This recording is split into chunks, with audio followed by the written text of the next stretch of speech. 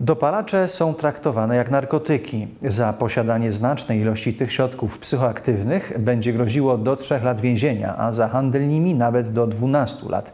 Wszystko za sprawą nowelizacji ustawy o przeciwdziałaniu narkomanii. Dzięki nowym przepisom walka z dopalaczami będzie skuteczniejsza niż dotychczas. Karani będą zarówno ci, którzy sprzedają, jak i ci, którzy posiadają te środki psychoaktywne. W tej chwili zostały zaostrzone przepisy dotyczące posiadania, jak również dystrybucji, sprzedaży tego typu środków i jeżeli ktoś e, posiada znaczną ilość tego narkotyku, jest to zagrożone karą pozbawienia wolności do lat trzech. Natomiast gdy ktoś sprzedaje tego typu środki, to już jest zagrożone karą pozbawienia, pozbawienia wolności do lat 12. Do tej pory dostęp do tych środków był łatwiejszy. Dopalacze bez większych problemów można było sprzedać czy zażyć. Zmiana przepisów ma temu zapobiegać.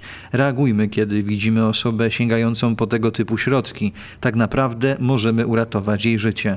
Są to środki zakazane, czyli nie wolno ich posiadać, nie wolno ich dystrybuować, a po drugie możemy uratować komuś życie. Musimy pamiętać, że działanie dopalaczy w, odróżnieniu od y, działania narkotyków jest y, nie do określenia na daną chwilę. Każdy do, dopalacz zawiera tak naprawdę kilka substancji psychoaktywnych w sobie.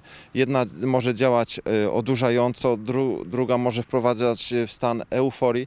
To wszystko się kumuluje, że tak powiem, w organizmie i może doprowadzić do utraty zdrowia, nawet życia. Jak rozpoznać osobę będącą pod wpływem dopalaczy? No taki symptom główny no to jest takie zachowanie irracjonalne tej osoby. Ona może być pobudzona, może być też również w jakiś inny sposób e, odbiegać od takiej przyjętej normy e, pewnego zachowania.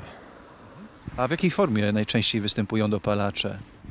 No, zazwyczaj jest to y, różnego rodzaju sproszkowana y, substancja, ale tutaj formy y, bywają naprawdę różne i jest szeroka ich gama. W ostatnim czasie w Polsce tuż przed wejściem w życie nowych przepisów wzrosła ilość zatruć, także z tragicznymi zakończeniami.